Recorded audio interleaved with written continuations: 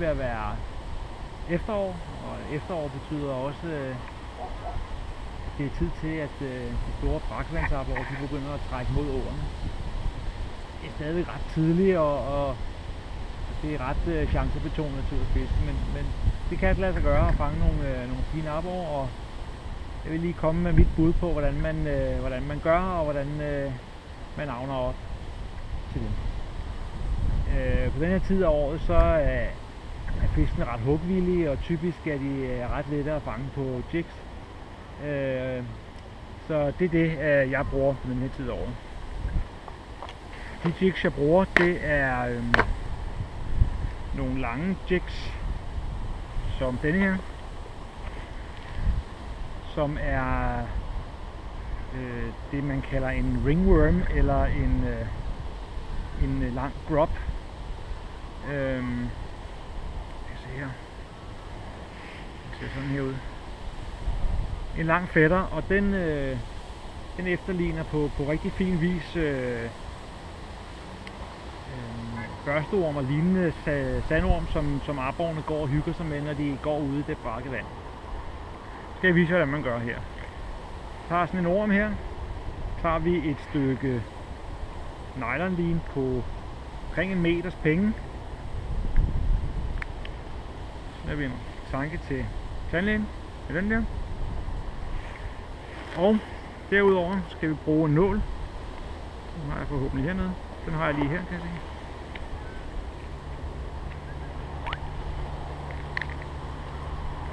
Stoppenålen. God lang en. Her har jeg min grub, eller min ringworm. Et godt stykke nede i stikker jeg min nål ind, ind i midten. Så er det ellers med at prøve at følge midten hele vejen om. Så vidt muligt.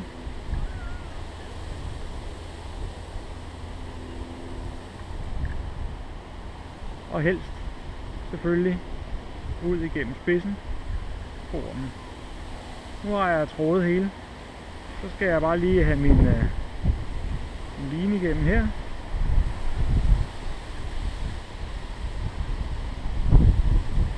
Sådan der. Så skal vi have nålen igennem jiggen. Sådan der.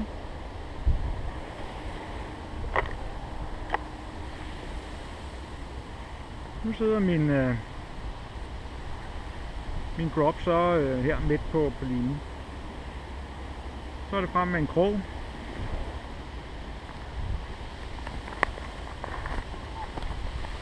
Bruger størrelse 4 Kamasan krog her, White Gape Specialist, som er en øh, meget let krog, og det betyder, at, øh, at jiggen den, øh, den bliver næsten vægtløs i vandet.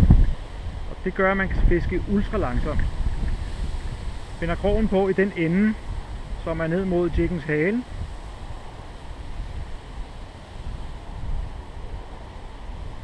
Sådan der.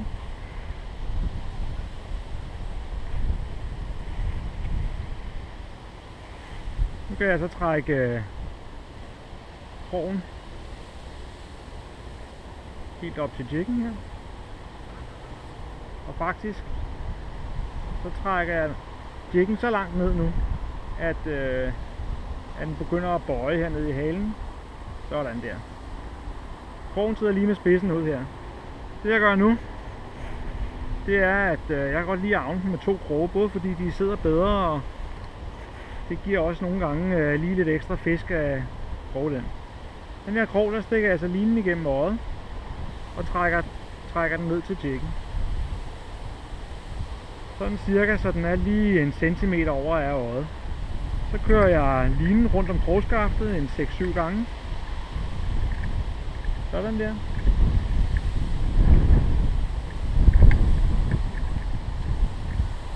Stikker linen igennem øjet igen. Sådan. Nu sidder krogen her. Så skal jeg krogen ind i jiggen, og det gør jeg helst den samme vej, som linen kommer ud. Lige en øh, halvanden centimeter ned og ud med krogen der. Og så skulle jeg gerne kunne trække kroppen op på plads. Sådan der. Nu sidder jiggen fint med to kroge i, uden at være alt for krøllet. Og øh, når den hænger i vandet, vil den faktisk hænge stort set, som den hænger her. Sådan. Når man nu sidder derhjemme om vinteren og ikke rigtig ved, hvad man skal lave en aften, hvor det er koldt og blæsende, så kan man jo altid lige lave nogle ekstra, og det det jeg gør, så jeg slipper for at stå ude ved vandet og bruge al min fisketid på, på det. Så jeg har brugt sådan en, øh, en forfangsmappe som denne her, hvor jeg har bundet kroppe på i forskellige farver, sådan så de er lige klar. Vi ser om vi kan finde en her. Vi lægger den her her indtil videre. Når, øhm, når man så skal putte jiggen på linen her, så starter man med at binde et øh, lille lod på i enden. Her er et, øh, det vejer vel en 10-15 gram. Lidt op ad linen, cirka 15-20 cm, har jeg bundet et lille øje. Og i det øje, der binder jeg så min line ned til min jig. Sådan. Altså en lille taps ned til løjet, en lang taps ud til jiggen. Sådan her. Derudover fisker jeg med en, øh, øh, en let spindestang på en kastvægt op til en 20-25 gram. Et øh, fastbolhjul med en god bremse. Og så selvfølgelig spunden line, så man kan mærke de forsigtige hug. Og øh, ja, så er det sådan set bare at komme derud af. God fornøjelse.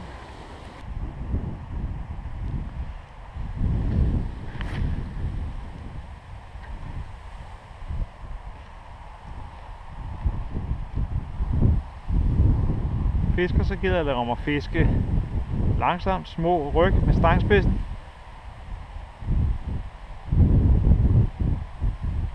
Så jiggen hopper hen over bunden.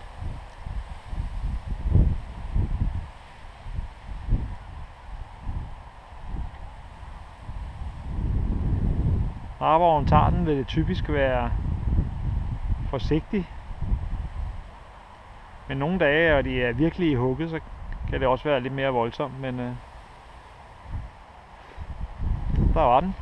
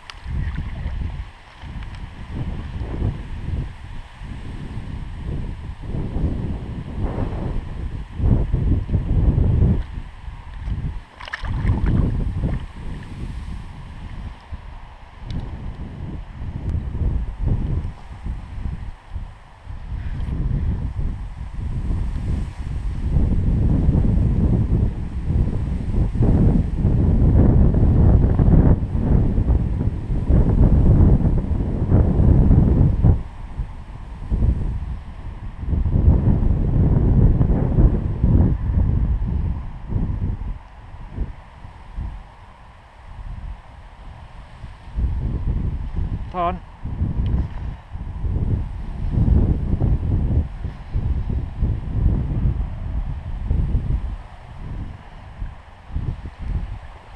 Det skal være en god fisk det her. Føles fint. Lige nu trækker jeg den øh, med strømmen hernede af, så det er lidt lettere, end det måske også vil være.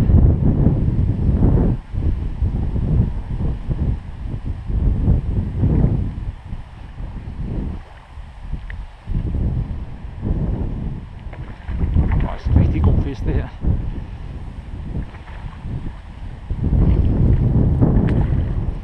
Det er en rigtig god fest det her.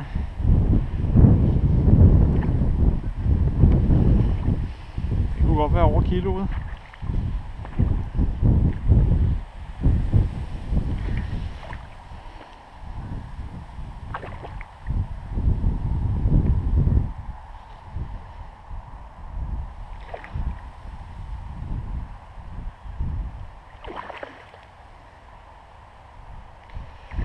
Lad os prøve at få den ind og se.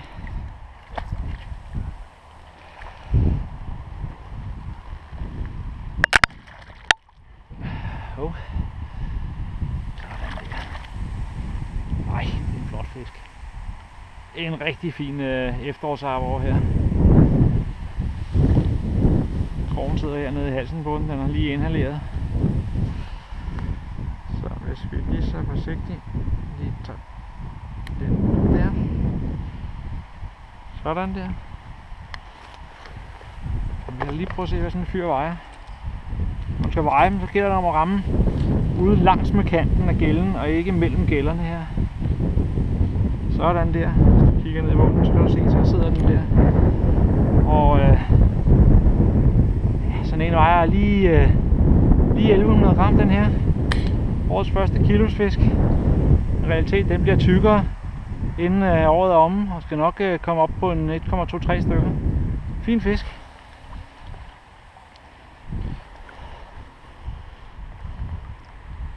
Følg med dig. Ses en anden gang.